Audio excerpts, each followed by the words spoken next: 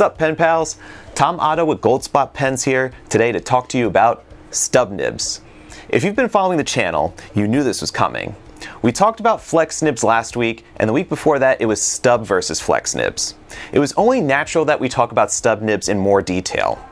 If you don't follow our channel and have no clue about what I'm talking about, hit the subscribe button and take a look at the Pens for Beginners playlist for a primer on fountain pens and nib sizes. Fountain pen enthusiasts usually start off with the standard round nib that produces a monoline.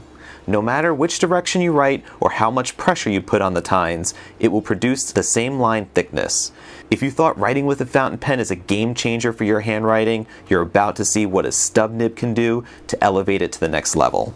Stub nibs accomplish line variation by virtue of its nib shape. Your typical round nib has a spherical ball shape of iridium tipping material.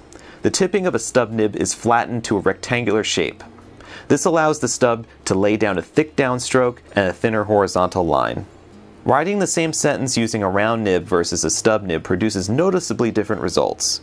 The stub nib automatically adds calligraphic flair to your everyday handwriting with hardly any adjustment to your writing style. Just like a standard round writing nib, stub nibs vary. They range from 0.6 millimeters to 2.3 millimeters, which is a measurement of the downstroke. The smaller the size, the less line variation is noticeable. The broader the size, the more drastic the line variation, and the more ink that is put on the page. You may have heard of italic nibs. They're quite similar to stub nibs with a subtle difference.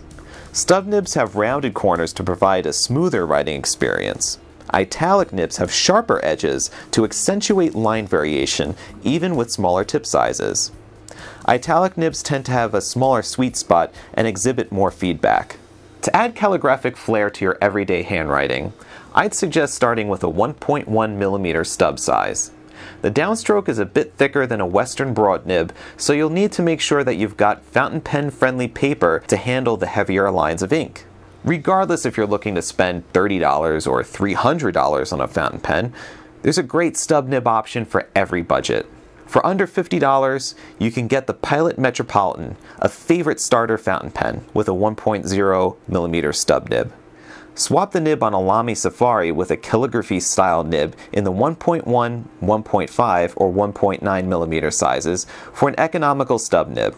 You can also get a pocket-sized Kaweco Sport with a variety of stub nib sizes. The least expensive option is to get a Sheaffer calligraphy pen in a set of three nib sizes. Between $50 and $99, the options open up with several pen designs from Monteverde and Conklin. Check out the Conklin Duragraph and the Monteverde Giant Sequoia. In 2019, Retro 51 upgraded their nib offerings to include a 1.1mm stub on their fountain pens. If you'd like a pen that can hold a lot of ink, an Opus 88 with a stub nib is a great combo. Between $100 and $200, you can opt for a Visconti Rembrandt, a Sailor 1911 Standard, or Pro Gear Slim with a 14 karat gold music nib. American made Edison pens and Franklin Christoph pens are also great steel nib options at this price point. At $200 and up, Take a look at the Leonardo Officina fountain pens, Sailor's 21 karat gold music nib on a 1911 large or Pro Gear standard, an Aurora 88 or Optima, or a Platinum 3776 Century music nib. I own and write with stub nibs from each of these price categories and can honestly say that there's a place for all of these pens in my collection. So, let's say you've got yourself a new stub nib fountain pen and are ready to get writing. Here are a few tips for a satisfying stub writing experience. Make sure both tines are touching evenly on the page as you write. Rolling or leaning to one side will cause the pen to miss a part, if not all the stroke. Use fountain pen friendly paper.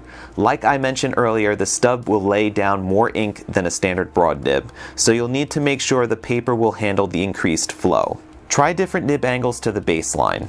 A 0 degree nib angle results in a thick downstroke and a thin horizontal stroke.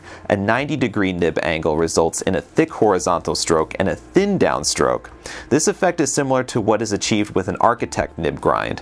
A 45 degree nib angle will give an italic appearance to your cursive lettering. Last, try reverse writing. Some stub nibs, like the Sailor Music nib, write a thinner, drier line when you flip the nib over to write nib side down. We hope that you found this beginner's video on stub nibs helpful. If you have any questions or are in need of some guidance, please feel free to leave a comment below. Make sure that you hit that subscribe button for more helpful how-to writing videos, pen reviews, unboxings, and interviews. Thank you for watching. Stay inky, my friends. Take care.